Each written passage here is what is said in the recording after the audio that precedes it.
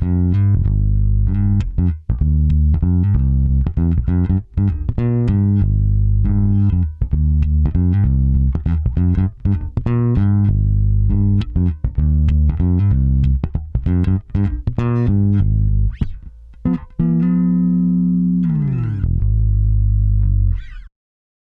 had some stank on it.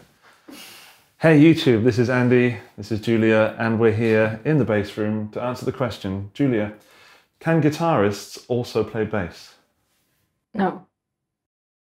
Thanks for watching. This is the Thomann channel. Please click subscribe, uh, leave some comments. See you next week. Bye. Bye. Thanks.